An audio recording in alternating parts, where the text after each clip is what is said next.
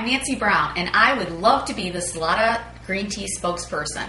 I drink three cups of Salada green tea each day, and I have extensively researched all the benefits of green tea and would love to share this information with other people.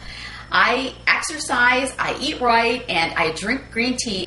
I also recycle every day my green tea envelopes and my paper recycling, which is important for the environment. Thank you very much for this opportunity, and here's to your health.